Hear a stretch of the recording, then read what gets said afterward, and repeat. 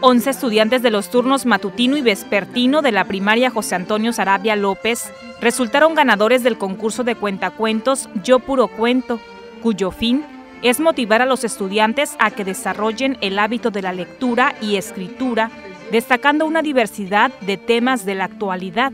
Mía Valentina Satarain Torres resultó ganadora del primer lugar con el cuento Los gemelos al rescate en el Día del Niño, mientras que José Francisco Moreno Rincones y Vanessa Figueroa Galaviz fueron ganadores del segundo y tercer lugar respectivamente. Me siento alegre. Contento. Contento, sí. Sí, para que se animen y tengan mucho más, se abran la mente pues.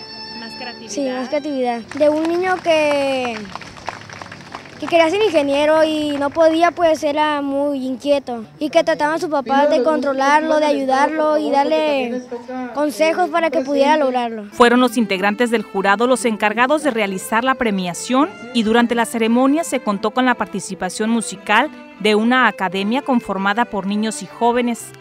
De igual forma, la actividad que tuvo como sede las instalaciones del Teatro del Bosque de la Ciudad fue realizada como parte de la celebración del Día del Niño y como una forma de incentivar a la niñez mazatleca.